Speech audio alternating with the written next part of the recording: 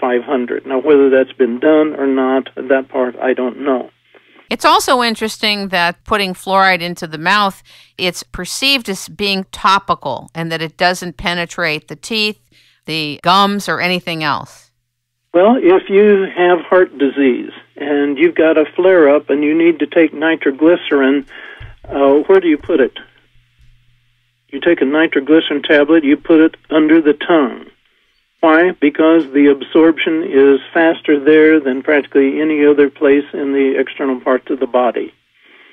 So, in the number one fastest, number two is actually under the tongue. The fastest absorption in the body is in the cheeks.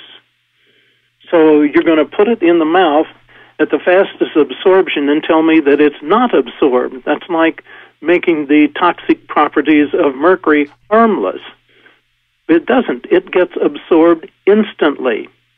I mean, if you've ever been around somebody who has angina and they take the uh, the nitroglycerin and put it under their tongue, the relief is within a matter of seconds or minutes, a few minutes at the most, but it's generally very, very rapid. And that shows how long it takes for a total systemic reaction.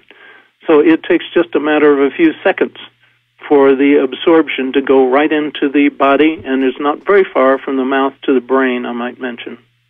I want to invite you back to the show to talk about implants and a few other matters relative to dentistry in the body.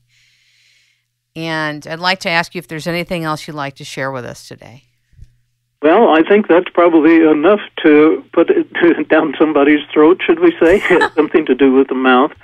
But this, uh, I do appreciate uh, your taking the time to do this. I know we've uh, gone a little more than the 30 minutes I thought. That's okay. That's okay. Ladies and gentlemen, we have been talking with, learning from, and listening to Dr. Hal Huggins at drhuggins.com, D-R-H-U-G-G-I-N-S.com. I want to thank you for being with us, and I look forward to having you back again, Dr. Huggins. Well, thank you for helping us generate awareness. That's what my life is all about, Kim. I appreciate you. God bless you.